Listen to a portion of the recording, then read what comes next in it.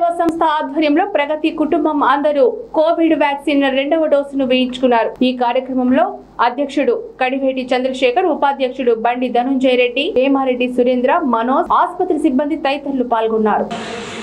ఈరోజు ప్రగతి సేవా సంస్థ ఆధ్వర్యంలో ప్రగతి కుటుంబ సభ్యులందరూ ఈరోజు వ్యాక్సిన్ టూ రెండో డోసు వేసుకోవడం జరిగింది. ఈరోజు మంచి పరిణామం. ఎందుకంటే కొన్ని అపోహాలు ఉన్నాయి. కొన్ని కూడా కొంతమంది కూడా మేము చెప్పేది ఏంటంటే ఖచ్చితంగా ఈ వ్యాక్సిన్ ప్రతి ఒక్కరూ వేయించుకోండి. రేపు ఒకటే తేదీ నుంచి పిల్లల్లో కూడా పద్దెనిమిది సంవత్సరాలు నిండిన పిల్లల నా గురించి వేస్తారు.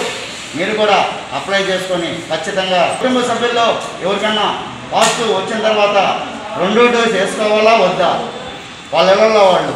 వాళ్ళకి ఏం సింటమ్ లేవు. అందరూ బాగానే ఉన్నారు. కానీ వేసుకోవాలా లేదా అనేది ఒక చిన్న సూచన కూడా అవసరం.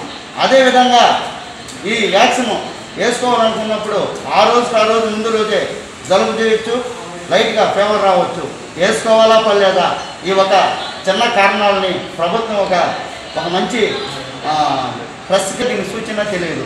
ప్రతి ఒక్కరు డాక్టర్ని సూపరింటెండెంట్ని అడగలేరు కాబట్టి ఒక చిన్న గోడ పత్రికలను కానీ రిలీజ్ చేయగలిగితే లేదా కొన్ని స్వచ్ఛంద సమస్యలు ఉన్నాయి. మాలాంటి వాళ్ళకి చెప్పినా కూడా మీరు మాకు ప్రొసీజర్ ఇచ్చినా కూడా మేమైనా కూడా వాటిని ఖచ్చితంగా ముద్రించి కొన్ని ఏరియాల్లో మేము పనిచేయడానికి ముందుకు వస్తామని ప్రగతి సేవా సంస్థ తరఫున ముందుగా తెలియజేస్తూ అదేవిధంగా ఇక్కడ ఈ హాస్పిటల్కి అంటే పూర్వ హాస్పిటల్ ఇది అయినా కూడా ఇక్కడ స్టాఫ్ అయితే చక్కగా ఉన్నారు.